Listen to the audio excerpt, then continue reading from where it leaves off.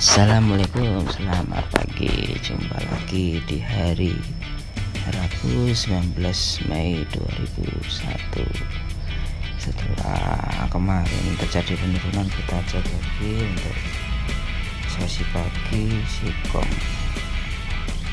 kita meluncur ke lokasi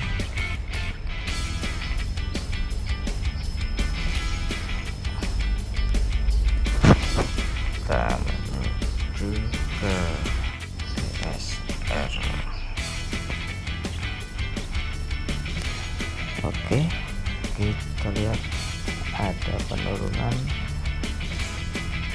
minus 1,6 dari harga kemarin jadi untuk hari ini masih trennya negatif karena posisi kekhawatiran dari ekonomi dunia. Oke kita cek untuk kurs rupiahnya. Kurs rupiahnya. Kurs rupiahnya melemah. Oke untuk penjabarannya kita bisa dilihat di yang selanjutnya. Perkiraan saya masih dalam kondisi tren yang negatif